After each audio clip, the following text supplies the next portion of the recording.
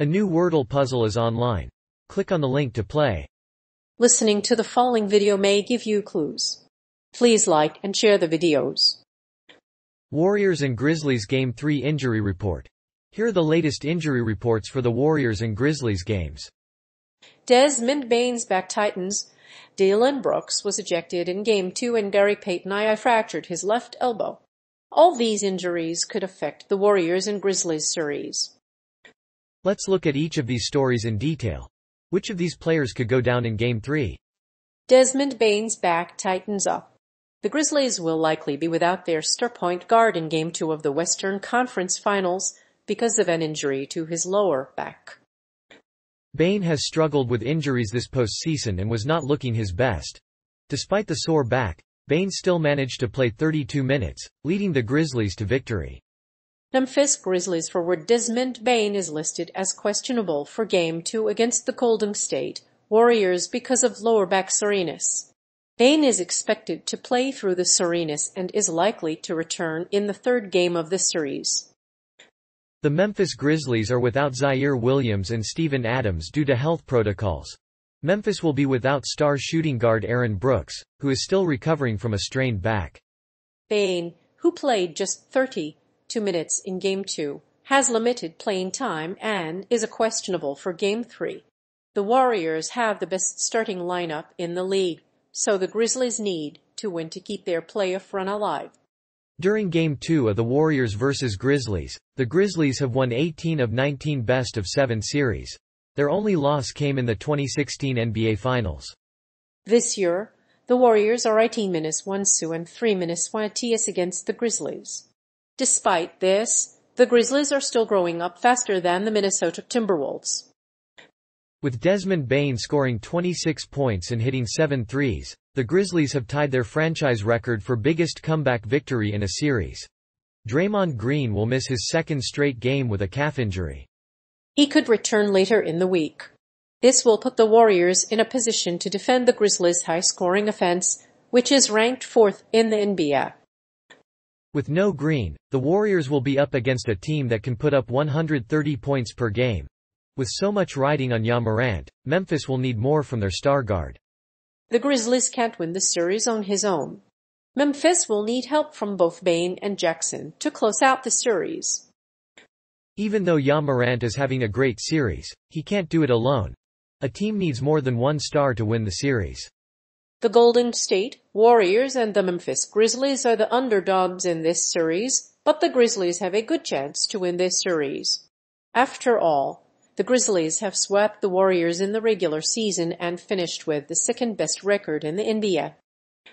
It's not impossible for them to even the series if they play their best, but the Warriors are the underdogs in this series and will want to make it as easy as possible.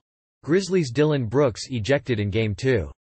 The Memphis Grizzlies upset the Golden State Warriors in Game 2 of the NBA Finals, winning 106 minutes 101 to tie the series at one game apiece. In the first quarter, Grizzlies Dillon Brooks fouled Warriors guard Gary Payton II, who was ejected for the foul. During the play, Brooks hit Payton in the head and he fell to the floor. The foul was deemed flagrant too, and the Grizzlies forward was ejected from the game. The Grizzlies will be without starting guard Aaron Brooks, and starting center Desmond Bane has a strained back.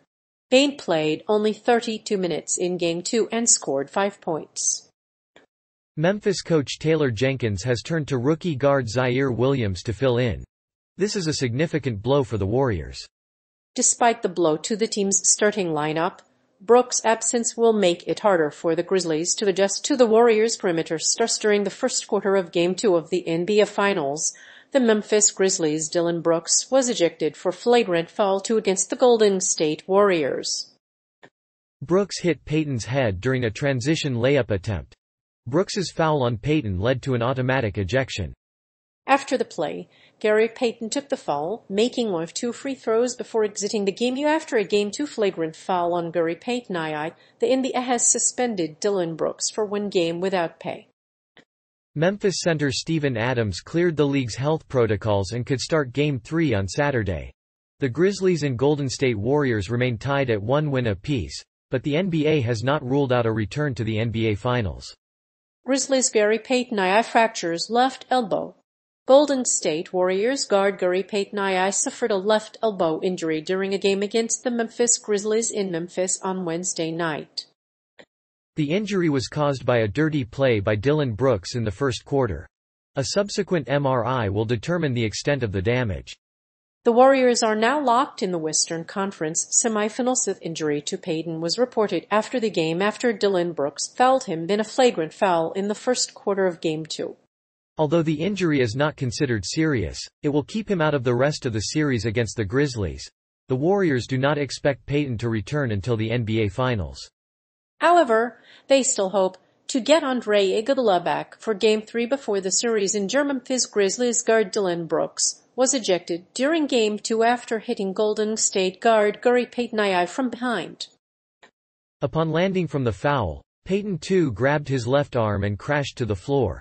He did not return to the game and was ruled out of Game 3.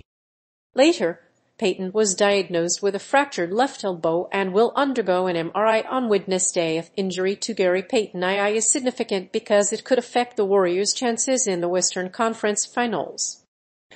Without him, they might not have been able to make it to the finals. However, the Warriors do have three days off before Game 3, which will allow him to recover.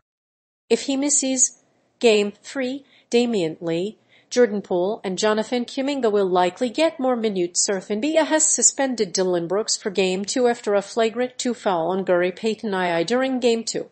As a result, Payton will be out for the rest of the series against Memphis, and most likely the entire Western Conference Finals.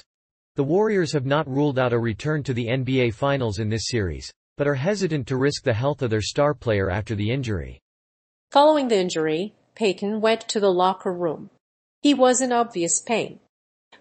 After the game, the Warriors coach took note of the foul, which could have caused the injury to Gary Payton. Gary Payton is the son of Hall of Famer Gary Payton and he played for four NBA teams before being drafted by Golden State. In the last five years, Gary Payton played in the G League and the NBA and was one of Golden State's premier perimeter defenders. In Game 2, Ja Morant exploded for 47 points, and Gary Payton was inserted into the starting lineup for Game 3.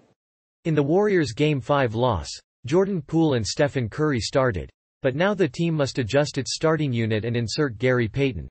In his first 16 starts this season, Payton averaged 9.9 points, 3.8 rebounds, and 1.8 steals.